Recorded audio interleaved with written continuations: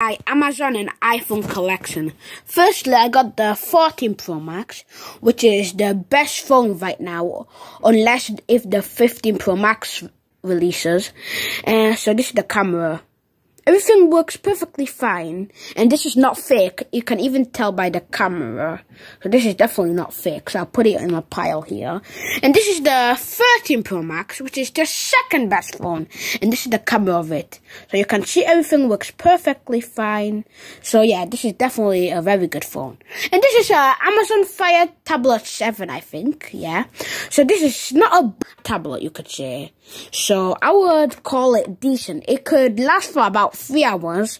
But un unlike the iPhone 14 and the 13 Pro Max, it could last more longer with a long storage.